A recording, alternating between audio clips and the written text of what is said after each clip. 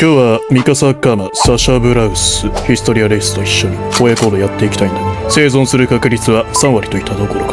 ほとんどが知るだろう。そんなこと言われて始めるんですか？我々死にに行くんで。す頑張りましょう。我々は赤ピンを奪還する。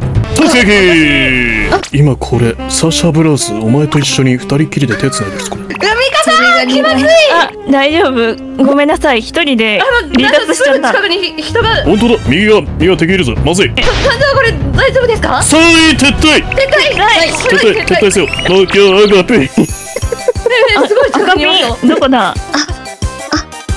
私武器ないから今回守れんわ。大丈夫ですか？あのヒストリアがなんか何が何が何があえてる目の前に車が。やばい目の前に。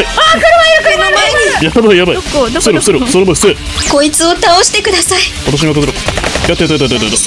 私のガールズたちに手を出すとはこいつ。死に値するなあ、嫌だったな。私のガールズ。なんだ何か嫌だったんだ。私助けたんだぞヒステ痛い痛い痛い痛い痛い痛い痛いあのキャメル前。あやばいたまない。殺しに行こう。頑張りたまえ。トゥーヤムーど、どこに？まだいたまあ今日どこで？すごい気の抜けた声なんだよな。まあちょっと頼りないところ見せてしまったスマン・スミス。スミス。スミス。ハンスミスみたいに言うのやめてもらってお前ら確かマーレに行ってアイスクリームとか食ってなかったか？あ、食べました。食べました。私も食べてましたかミカさ。んうん、食べてた。あ食べてました。私もあれ食べたいぞサシャ私にも分けてくれんか？あいにく団長の分はそちらのというかなんと言いますか。気まずいんですけども。あのその頃団長はちょっとね。まあ、ね。私まだ生きとるわ。そそ そうですよね。おおそうですね。まだ生きてる。うん。しっかりと生きてるぞ。なんだこの車。ヒストリアお前課金してるな。さては。おじさんに買ってもらいました。